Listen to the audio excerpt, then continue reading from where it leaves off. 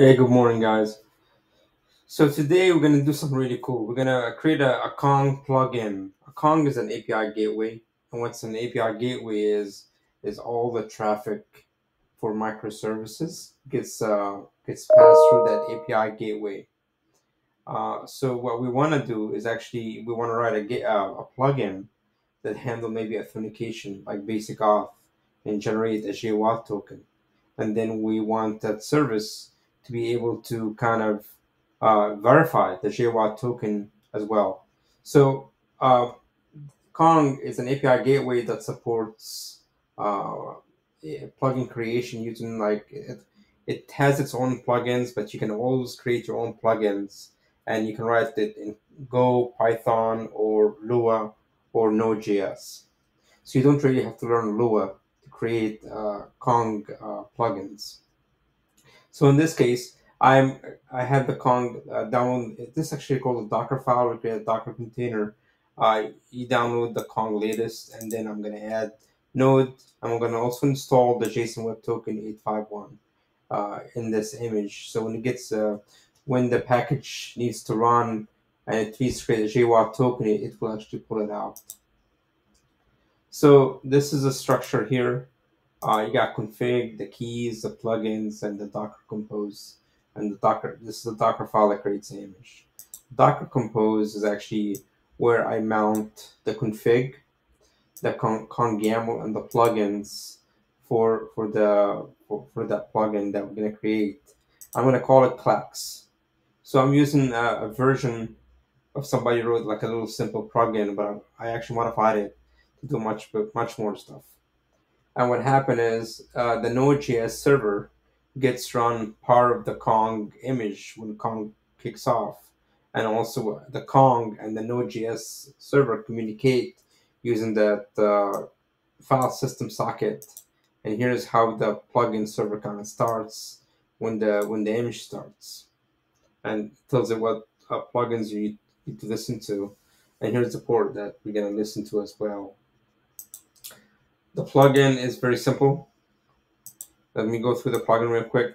Uh, what happened is when when Kong kind of uh, part of the Kong framework, um, you you create a class and you register that class in module exports. And here you register kind of, what kind of parameters you're gonna get from your Docker Compose. So that in this case, I have a JWT expiration. The JWT expiration is actually um, define part of the config. So when the image, when the when the Kong starts, all these config parameters here for that plugin will get passed through to the plugin code here, Clax.js. So in this case, I'm gonna call the config and get passed to the class constructor. And also in the class constructor, I'm just kind of creating the private and public key. So the private and public key are to be used to sign and verify the, the, the, the JWT token and also the config file uh, will be used to have our uh, parameters to this class. So let's go through that. So what happened is when we get a request, the access method is going to be called. We're going to get the authorization header. Going to process the authorization header. And then we're going to also look for the cookie header. So if we have a JWT token, we're going to pass it through the cookie header.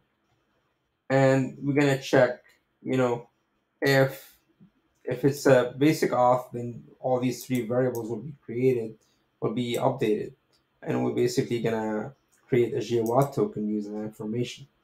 And we're gonna tell Kong. So Kong is actually passing in in the access method. Kong is actually gonna call us in the access method, and the Kong is actually gonna be passing uh, the response uh, class uh, as part of it where we can actually gonna set the cookie to JWT.